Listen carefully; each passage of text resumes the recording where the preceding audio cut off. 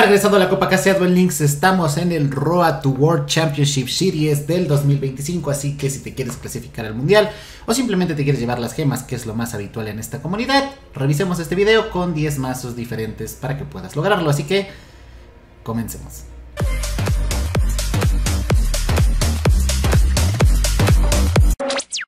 ¿Qué onda chavos? ¿Cómo están? Sean todos ustedes bienvenidos a otro bonito gameplay de Yu-Gi-Oh! The Links en el cual vamos a revisar 10 mazos distintos para que ustedes puedan jugar este formato, puedan llevarse las recompensas y alguno de ellos posiblemente sea Top Copa KC, no específicamente la receta que les muestro, pero sí posiblemente algunas modificaciones, depende y ya saben, el mazo dominante, que si la staple del formato, que si Lirillus no permite target, etcétera, etcétera, etcétera.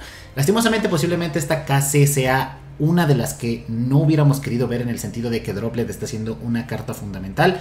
Pay to wall, entonces eso no está chévere y creo que tenía mucho tiempo que no pasaba en el juego. Lo único bueno es que estamos en una época en la que básicamente esta casa es como muy de paso, como que pocos se la toman en serio, que digo al final ir al mundial es mundial, pero bueno, al final eso es cuestión de cada jugador. Aquí más o menos entre que esperamos Vanlis, Nuevo Mundo y eso, pues es más de transición el asunto.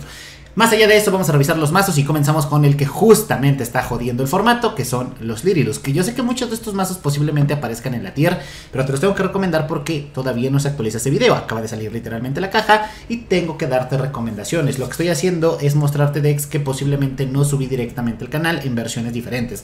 Esta no es la que viste en el canal, entonces por ahí puedes complementar un poco. De hecho, esta no tiene el, boss monster del bundle, sino está usando one for one, que se van puliendo las versiones, se va utilizando una carta, se va usando otra y eso es lo que va pasando en los días. Pero bueno, de que es bueno el mazo es bueno, de que es meta es meta, creo que eso ya no queda en dudas en estos momentos. Entonces, si te estabas pensando armarte el deck, posiblemente no es una mala opción. Lo que sí, mazo meta, que si define el formato y es bastante bueno, nada más no te quejes cuando te lo baneen. Ese es el riesgo de jugar meta y siempre va a pasar. Vamos al siguiente, que en este caso es otro deck de la nueva caja. Vamos a comenzar con estos mazos. Y este ya se los mostré en el canal, pero el que les muestro aquí en pantalla es una versión diferente. Para ir complementando, también los que van a llegar al canal son diferentes a los, los que les estoy mostrando en este video, para que no sientan que es más de lo mismo. En este caso, Time Thief con la versión Counter, que a mí me gusta bastante. Honestamente lo hubiera querido jugar, pero no busqué en su momento el Engine Parshat con las Counter. Y este está cool porque la Counter es casi que buscable. Bajando este dude especialmente, buscas carta Time Thief, entonces agregas la counter y si ya robaste la counter partial, pues te quedas con una en mano, lo colocas y todo el tiempo estás haciendo esa ventaja de activar una counter, poner un cuerpo en campo, que es bastante bueno. Y la ventaja de la counter partial es que no solamente son magias y trampas, entonces bastante bien en ese sentido. Es un mazo que es muy bueno. Me atrevo a decir que posiblemente también pueda entrar en la tier. No sé muy bien qué posición. Aquí sí habría que ver cómo se adapta el formato. Todavía se sigue buscando la mejor versión.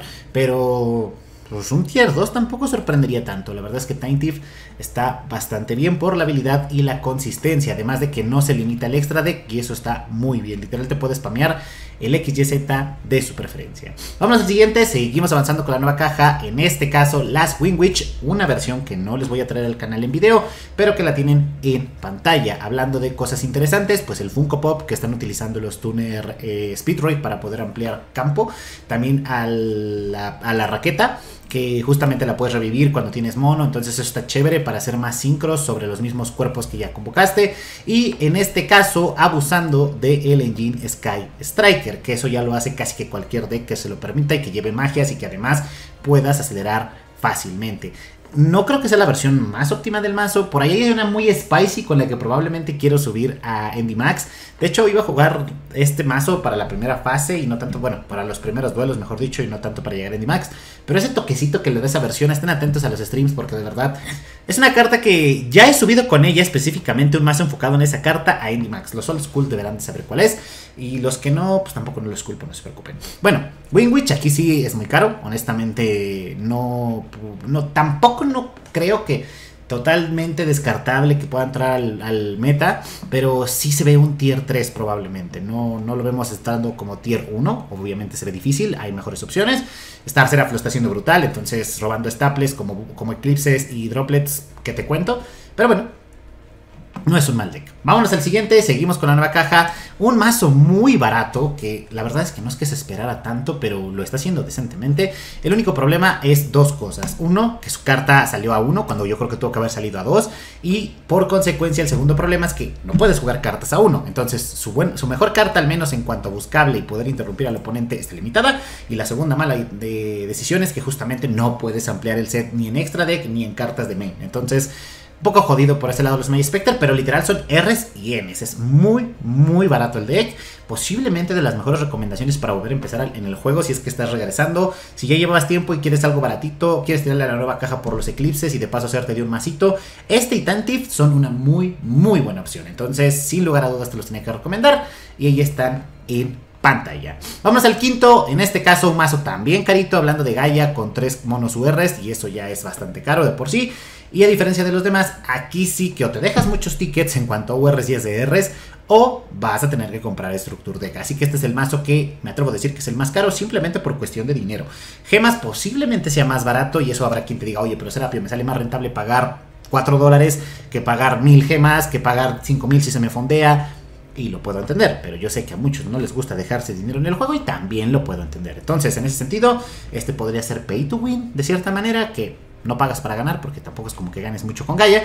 Pero está chévere y por ahí hay un FTK del mazo que, de hecho, nenes, enlace en la descripción de las redes. Creo que por ahí está mi TikTok. Ya estoy subiendo reels por allá también para que los watchen. Se van a subir tapetes para farmear, bueno, mazos para farmear tapetes, duelos acá bien locochones, FTKs y cosas bien coquetas. Entonces, síganme por allá, que también está en la descripción. Vámonos al siguiente mazo y ya cerramos con la nueva caja en una combinación con las Charmers que está bastante bien en cuanto a dogmática se refiere. En este caso puedes abusar de enviar las cartas con el punishment y obviamente de los efectos de las mismas cartas que mandes a el cementerio. La Handtrap está muy coqueta. No me atrevería a decir que va a ser la respuesta a Lilus porque básicamente es mucho mejor llevar una staple como lo es Droplet, pero si no la tienes también puede ser una opción adicional al libro del eclipse, que eso ya lo hemos platicado en otros videos. Entonces, es un mazo que hace pura normal summon, haces extra con eh, la mona de los spellcasters, de los magistus, y ya tienes para bajar Eclesia, y Eclesia empieza a buscar carta, y haces otra special, y empiezas a spamear un poquito. Entonces, en ese sentido está bastante bien. Al que te limite las invocaciones con el punishment probablemente no te afecte tanto, generas ventaja con la magia. Y también se está viendo con Blue Eyes. Les pude haber traído la versión con Blue Eyes, pero les traeré otra al canal para que puedan revisar más versiones y así complementa un poco más el contenido que tengo que estarles subiendo porque si no, no me da la vida. No puedo traerles tres videos al día. Entonces, Créanme que hago lo mejor que puedo. Entonces, sexto mazo de la caja, creo que ya por variedad no vamos a parar, entonces vámonos a los que no son tan nuevos, pero posiblemente todavía puedas jugar. Y empecemos con Sunavalon, un mazo que muchos ya lo dejaron de lado, que ya lo tiraron por, por, viejito, que no tiene mucho que salió. Y aparte recientemente le dieron nueva habilidad y nueva magia. Entonces la magia está bastante bien, te ayuda a sacar más monos, haces más spam. Tenemos también ya los leaks directamente, la habilidad te sube muchísimos puntos de vida, te agrega casi que 20 en el extra deck y ahora ya tienes 9, entonces casi que juegas con 50 cartas y está muy bien, tiene hand trap, eh, lo único malo es que la combinación con Rika se hizo medianamente cara, pero si en su momento buscaste por oferta de 25 gemas, complementaste bastante barato. Titanial para poder negar targets, tenemos obviamente el Onfire que te busca casi que todo el deck, tenemos la nueva magia como lo decía, entonces en ese lado lo veo bastante chévere, lo veo bastante coqueto y lo veo decente para seguirse jugando y lo puedes jugar en su versión anterior que era mucho más barato. Vámonos al siguiente, en este caso los Chuchip, ya directamente con tres libros del eclipse, pues porque es la carta del formato, también las puedes robar fácilmente. Me atrevo a decir que es Star Seraph, pero en chiquitito, y más baratito, obviamente, también depende de cómo lo quieras ver. Por si no te salió en su momento en la Selection Box, porque pues obviamente este también era de ahí, pero pues te salen en SRs y es más fácil y cobras un ticket y lo que tú quieras. Está decente, está chévere, me parece un buen deck. Control revestido sigue siendo también una gran skill para poder buscar el material y hacer la invocación desde la mano de lo que agregues y haces un poco más de spam. Entonces, bien, me gusta. Las decisiones dolorosas con fichas, si es que si lo deseas, hasta el TTH, ¿por qué no?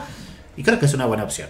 Y vámonos al siguiente, que es un Super Quant, que aquí ya, a diferencia del anterior, es un XYZ un poco más caro, porque buscamos al Kappa Mikey y necesitamos los tres SRs, que es el blanco.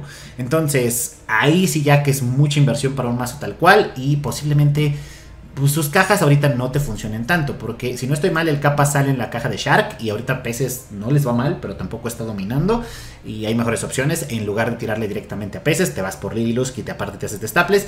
Y la caja donde salía el capa, si no te salió un Selection Box, pues la verdad es que no envejeció nada bien, salvo que si eres Hero Player, saludos al Barox, pues probablemente tienes todo por 3, pues porque pues, lo sangran por todos lados. Pero fuera de eso, la verdad es que no es lo más recomendable en inversión actualmente, pero sí me parece divertido. Teleport como, como carta para poder buscar al capa, invocarlo y buscar naipe, y eso está bien.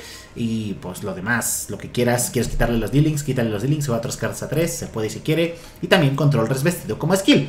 Ya saben, los mazos XYZ genéricos estaban abusando de la misma. Y hablando de mazos de XYZ, la última recomendación que te tengo que hacer en el video del día de hoy y homenajeando un poco a nuestro actual campeón de Duel Links, muchos saluditos al buen Shelmy, felicidades de nueva cuenta.